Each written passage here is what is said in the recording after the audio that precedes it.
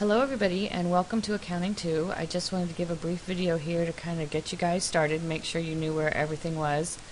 I'm guessing that most of you just took Accounting 1 last semester so you're already familiar with MyAccountingLab, but my course might be set up just a little bit differently so I wanted to show you around. Um, the course home page, which you kind of uh, go to automatically, will show you um, upcoming assignments and a little calendar here of what's due. This is also where I post the announcements, so I'll make sure you check that regularly for announcements. The announcements should also be emailed to whatever account you have linked to MyAccountingLab. And also purchase options here. You can um, use MyAccountingLab for 14 days before you have to pay, and so if you don't have an access code, you can use it, and then it will show you um, uh, somewhere on here for uh, oh here purchase options if you if you need to purchase it there. Course information is where I have these videos posted, um, which you can't see right now. Also, uh, some orientation material to get you started, the syllabus and the course schedule and the due dates. These are documents um, here that I have posted for you. If I have other things, I might post them here. I'm going to do a separate video where I go through those in a little more detail, but I just wanted to show you around a little bit here. Study guides and course resources are documents that I have posted. Um, I, am putting all these up here. You may or may not find them helpful. These are um, PowerPoints that would have been from the in-person class. So basically, I'll just show you kind of what one looks like here. This is where I am um, kind of lecturing in class. There's no audio with these. These are just kind of the finished product on here, which is why I'm um, going to let you decide whether you want to use these or not. But it has it has notes on the different topics, and it has me uh, it has some solved problems on here. So, for instance, here's um, and I'm not the great greatest at writing on the tablets. It's not always that neat, which is why I wasn't sure. But but it does help you kind of show what I focus on when I'm going in class. So if the if the chapter's kind of long, this might help you um, just kind of see what kinds of things I'm focusing on. And then I also um, I'm solving a lot of the short problems.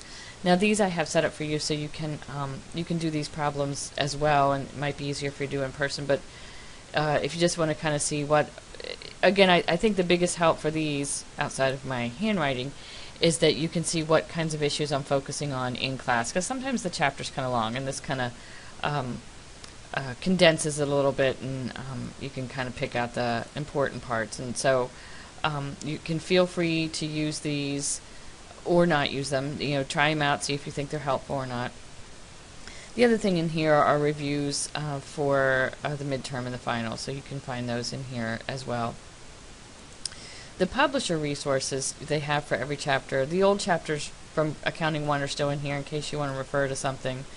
But otherwise, um, and you're probably already familiar with these, uh, you can go to chapter 12. You've got the demo docs. You've got um, the multimedia stuff, which will have some PowerPoints I do have the publisher PowerPoints in here, but they're very long. Like chapter 12 is 78 slides, which I think is a little bit long.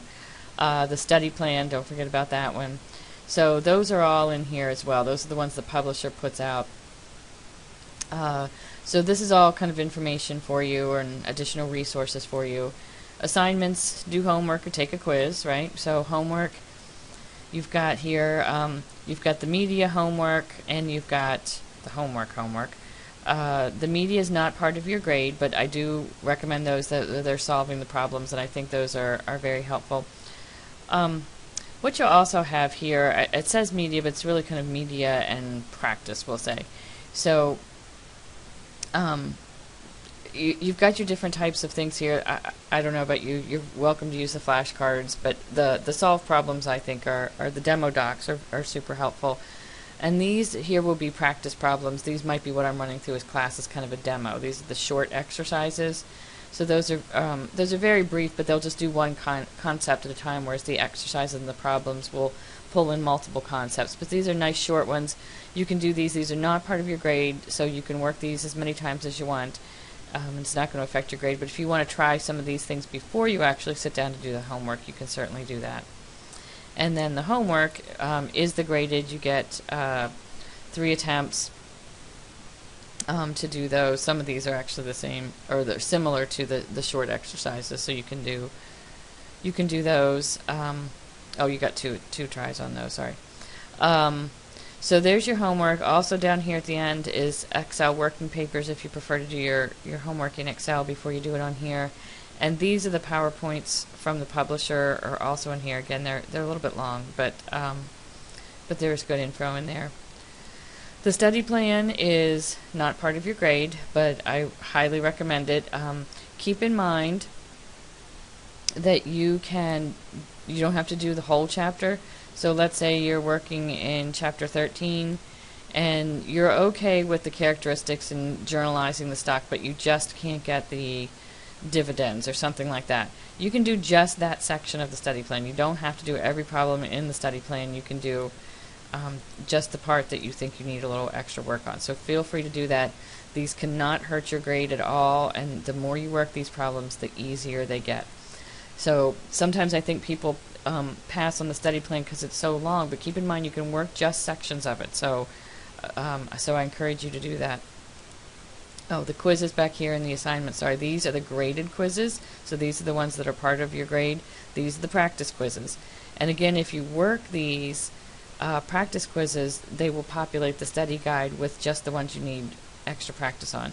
So if you take if you take the chapter 13 pre-test, the things that you get correct, it will take out of the study plan for you. So when you go to the study plan, you can work on just the things you need to practice on. So um, let's say I uh, I go here. Um, right now I have it set to show all, so everything will be in here. But I can also say just show me what I need to study.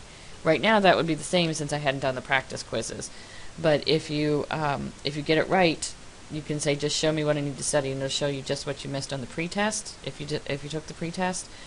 But even if you said, well, I really just got lucky on that one, you can just hit show all, and it will do all the problems in that chapter for you. Uh, the grade book will show you what you're doing. Um, it'll it'll it'll be should be properly weighted. Um, that's not part of your grade. Mine looks just a little bit different than yours.